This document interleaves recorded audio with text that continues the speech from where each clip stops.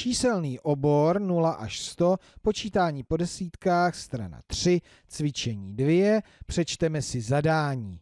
Doplňte rozklady. Rozklady desítek jsme ještě neměli, tak si připomeneme rozklady, které jsme měli, a to bylo rozkládání do deseti. 8 rozdělím na 6 a 2. No a s desítkami to bude podobný. 8 desítek, čili 80, rozdělím na 6 desítek, 60 a 2 desítky, 20. Tak, teď jsme si to ukázali. 80 rozdělíme na 60 a 20. Jak rozdělíme 70? Kdo neví, zkuste si to udělat, jako kdybyste rozkládali sedmičku. Sedm rozložíme na něco a čtyři.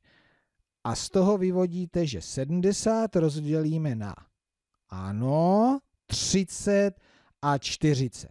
90 rozdělím na 50 a 40, říkáte to správně.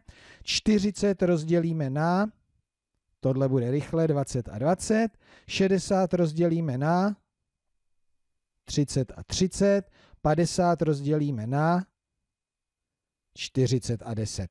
Myslím, že tohle je hodně jednoduché, takže to zvládnete už sami.